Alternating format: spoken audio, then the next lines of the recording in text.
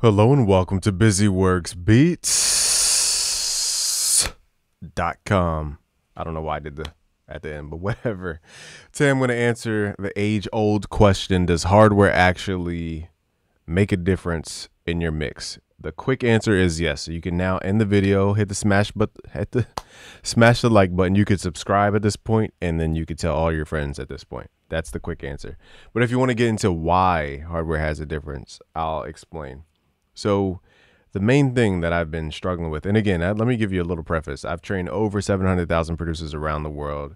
We've worked with the top audio companies from around the world, from iZotope to Arturia to Image Line, who made FL Studio to, I'm going to forget all the companies, Sweetwater, Universal Audio, all the top dogs. Okay. And in doing this, I've noticed that there's a plugin culture.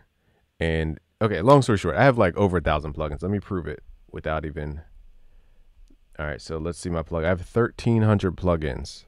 So I am a person who knows from experience that yes, it's cool to have a bunch of plugins and there's a bunch of advantages for plugins, but there's nothing like the hardware sound, whether that comes to your mixing hardware, outboard gear, or whether it comes to your hardware synthesizers like analog synths. They just don't sound like digital stuff. They don't sound like in the box stuff. Okay there's a difference. And i'm going to prove it today. I'm just going to let you hear it so we don't have to get into the science of it all. But this might be the sound that you were chasing. It's not going to be in a plugin.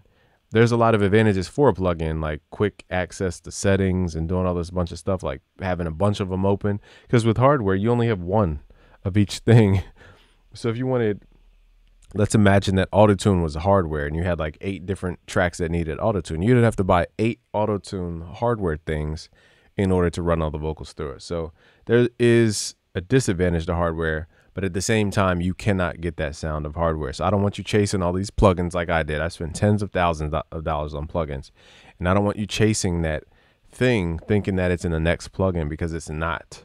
And like if I just would have invested my money in this years ago, I would have had crazier mixes.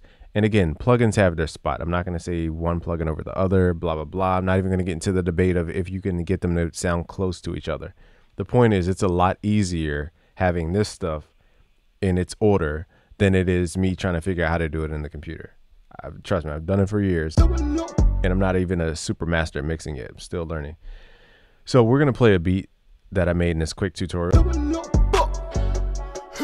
and I just want you to listen to how like small and boxed in this beat is, or the you know the uh, idea is.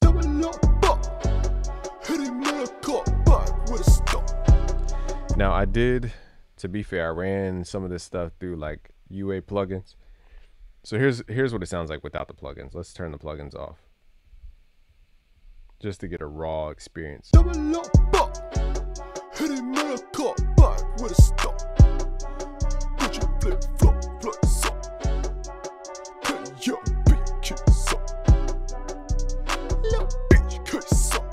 It sounds like your typical like FL beat, right? Now I'm gonna add a couple plugins um, from UA Universal Audio. So I have the Thermionic Culture Vulture on the 808, making it vibrate. I have a reverb from UA, and what else do I have? And a bunch of EQs and auto tune on the vocal.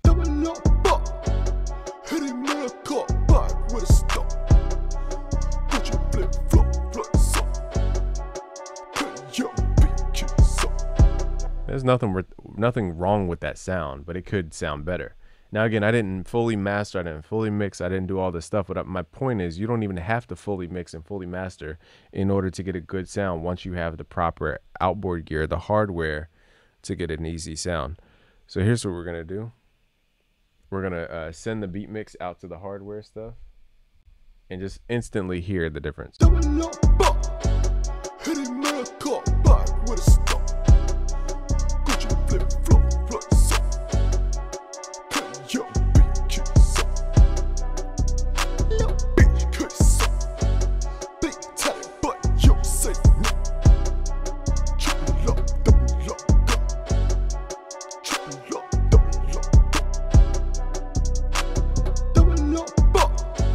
It just has a lot more life it has a lot more space it has a lot more vibrance. And let's hear it before let's hear it in the box again.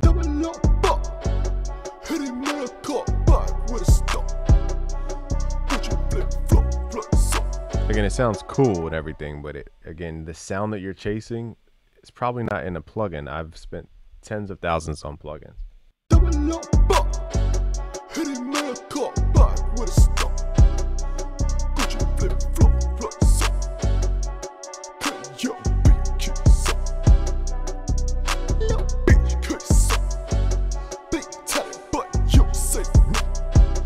And we don't even have to worry. Again, this is there's so many nuances. You don't even have to gain match to understand that this sounds better going through all this stuff. There's more space, more clarity, and I didn't even fully mix mix it. This is just like a rough idea. And let me see if I can take off this stuff. Let's see what it sounds like even without any plugins and just going straight through the hardware stuff.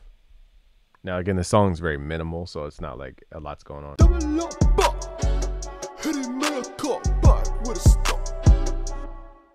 Just to quickly compare, let's let's hear it without. I mean, let's hear it in the box.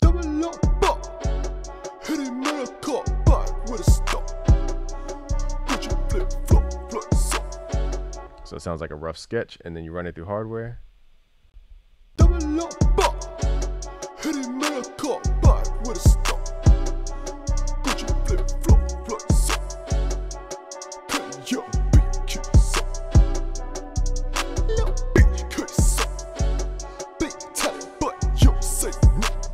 Sounds better. Like, I mean, we don't have to sit here to have a debate about the dB, about the electricity, the scientists have figured it out already. And I wanted to show you that because you might be chasing this plugin sound for years and years and years. And it's cool to get new plugins and new inspiration. But if I just would have known to grab hardware the whole time, I would have saved myself tons of money. I would have been happier with my results. And I wouldn't have been so confused as to why I wasn't getting the sound. And again, this is the thing that they won't tell you because when you watch these mixing tutorials on YouTube from whatever company, you don't here's one thing I want you to pay attention to. Where are they mixing at when you're watching these mixing videos? Chances are they're in a studio like my studio here that is acoustically treated. This room costs thousands of uh, dollars a month just to rent this small studio space. Maybe not thousands, well, a thousand and some. Okay, it's a lot of dough just to record stuff and mix stuff. Now they're in rooms that cost more than that per month, or maybe they invested a whole bunch of money just to build a room from scratch. There's a lot of stuff that goes into this room. Not only this room, but the entire building. And the stuff had to be put into the walls, like construction level stuff. So I just want you to pay attention when you're watching these mixing videos online. Where are they mixing from? Chances are they're mixing in these rooms that cost tens of thousands just to construct. And two, they probably don't even show you their hardware chain or the preamps or their converters or whatever it is that's giving them the clarity and perspective or the monitors that they're using. I just want you to understand that there is a difference when you upgrade and kind of get into the pro level stuff. There is a difference, and it's not usually in the plugin. The plugin just gives you quick quick moves you can make without reaching over here. Like let's say, for example, I didn't route this vocal through the uh, through my vocal chain, and I'll quickly do it. And again, we're not mixing, mixing. I just want to show you it's a different sound. Number one thing about running your stuff through analog compressors is that you can push the compressors really hard without it sounding like it's just sounding soft. So right now I'm compressing like negative. I'm compressing up to negative 24 dB, but you can't tell. It just sounds normal.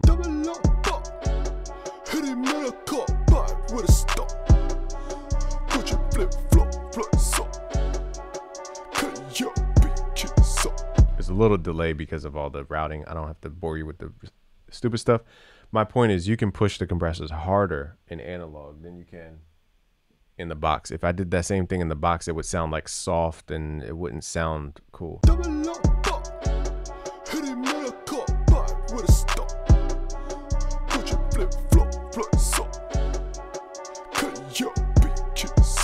It's a little delayed. Oh, you know what? I forgot to run it through um, reverb.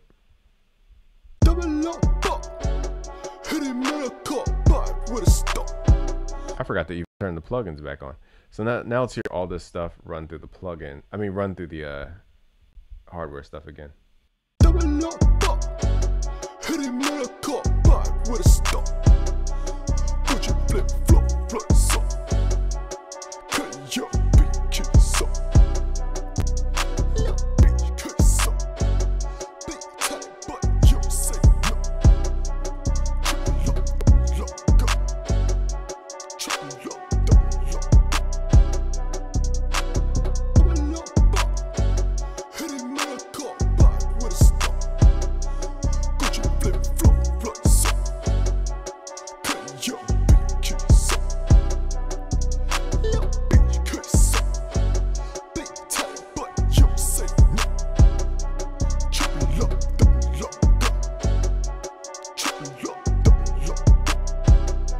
Again, I'm not even like mixing, mixing. It just sounds infinitely better just from running it through hardware. That's what I'm saying. Why is my voice like stacking up?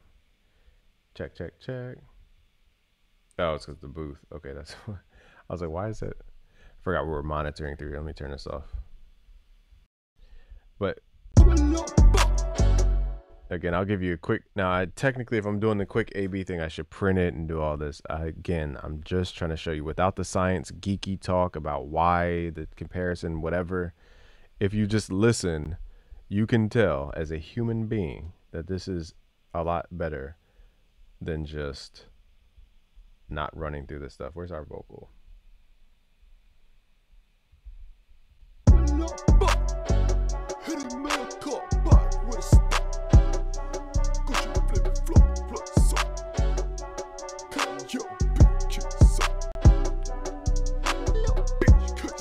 In the box. Sounds like a rough sketch. Now let's run the beat going out to the hardware. This is without my mixing.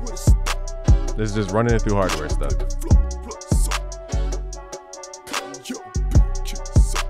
Sounds alive. Now let's add the plugins.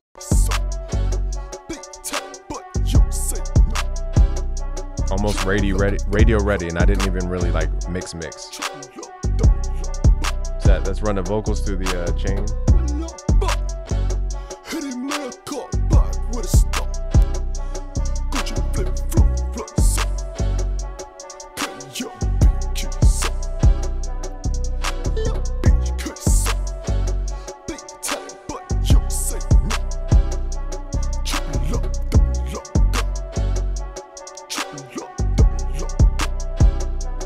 People tell me hardware doesn't make a difference, I'm really just looking at them like, are you joking me? I've spent years spending thousands of dollars on plugins. There is you can get plugins to sound cool. Great. But that's there's three levels to it, right? You can buy a bunch of plugins and make your song sound great over headphones. That's great. Then you have enough money to move into a room that's acoustically treated. Then you realize your headphone mix sounds small as crap and it doesn't have depth and all these different things that you hear people talking about because you can't get that experience over headphones. The number one thing about speakers is that it's like a and it's like a big picture. And like if you have good speakers, you can see the picture from here all the way over to here. It's like a horizontal big picture. And the cool part is that the better the speaker, the better the imaging. It makes more sense when you get better speakers too. I don't want to get into every little thing about every little thing about every little thing. I'll give you a link below if you want the studio essentials that got me started. Okay. But then there's like this image going across, and now you can start to make better decisions. Then you get to the highest level, which is like a hybrid type of mix, which is the acoustically treated room, good speakers. You got the plugins that you need, and then you're dig- dabbling in the hardware world for mixing or analog synths, whatever it is. You're getting a better sound source, and that takes it to a different level.